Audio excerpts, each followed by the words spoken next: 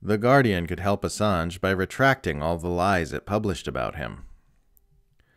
The Guardian has joined the New York Times, Le Monde, Der Spiegel, and El País in signing a letter from the five papers which collaborated with WikiLeaks 12 years ago in the publication of the Chelsea Manning leaks to call for the Biden administration to drop all charges against Julian Assange. This sudden jolt of mainstream support comes as news breaks that Australian Prime Minister Anthony Albanese has been personally pushing for the U.S. government to bring the Assange case to a close.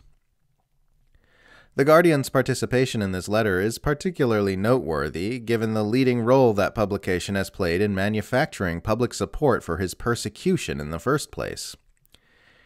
If The Guardian really wants to help end the persecution of the heroic WikiLeaks founder, the best way to do that would be to retract those many smears, spin jobs, and outright lies, and to formally apologize for publishing them. This is, after all, the same Guardian which published the transparently ridiculous and completely invalidated 2018 report that Trump lackey Paul Manafort had met secretly with Assange at the Ecuadorian embassy, not once but multiple times. Not one shred of evidence has ever been produced to substantiate this claim, despite the embassy being one of the most heavily surveilled buildings on the planet at the time.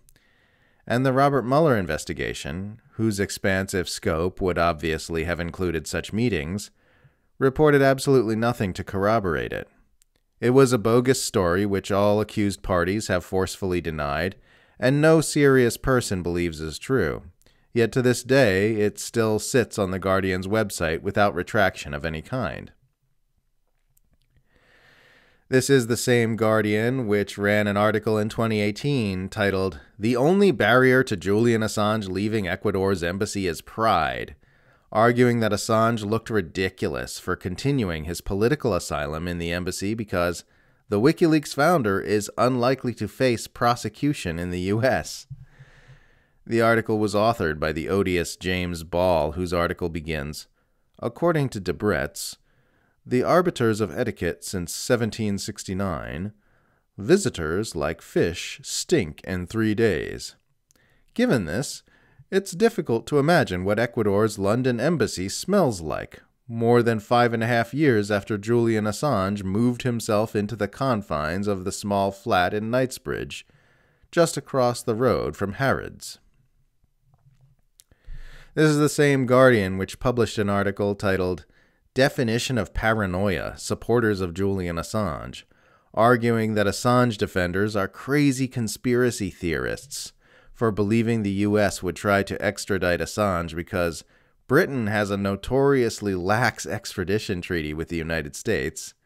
Because why would they bother to imprison him when he is making such a good job of discrediting himself?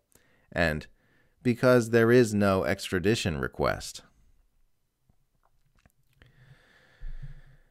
This is the same Guardian which published a ludicrous report about Assange potentially receiving documents as part of a strange Nigel Farage Donald Trump Russia conspiracy, a claim based primarily on vague analysis by a single anonymous source described as highly placed contact with links to U.S. intelligence.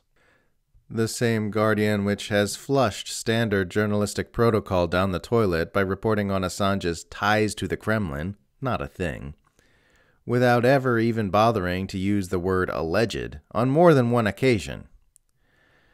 The same Guardian which advanced many more virulent smears, as documented in a 2018 article by The Canary titled Guilty by Innuendo The Guardian Campaign Against Julian Assange That Breaks All the Rules. Even the wording of the joint letter itself is dishonest when coming from The Guardian. This group of editors and publishers, all of whom had worked with Assange, felt the need to publicly criticize his conduct in 2011 when unredacted copies of the cables were released, and some of us are concerned about the allegations in the indictment that he attempted to aid in computer intrusion of a classified database, the letter reads. But we come together now to express our grave concerns about the continued prosecution of Julian Assange for obtaining and publishing classified materials. As we've discussed previously, the narrative that Assange recklessly published unredacted documents in 2011 is itself a dishonest smear, and the unredacted files were actually published elsewhere as the result of a real password being recklessly published in a book by Guardian journalists David Leigh and Luke Harding, the same Luke Harding who co authored the bogus Manafort Assange story.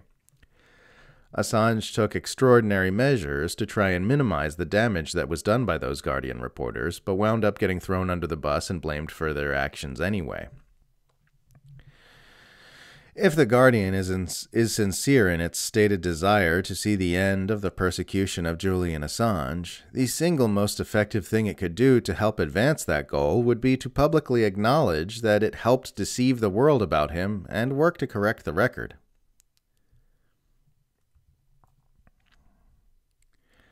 The only reason Assange's case doesn't have more support currently is because so much of the public has been deceived into believing that what's happening is not the unconscionable persecution of a journalist for telling the truth, but rather the righteous prosecution of a sinister Russian agent who has broken laws and endangered lives.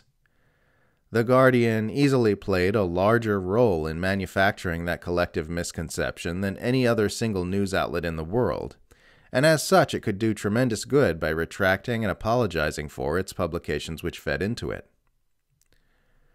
This is the sort of thing a publication would do if it was really interested in truth, justice, and journalistic ethics. Is it what the people who run The Guardian will choose to do? I highly doubt it.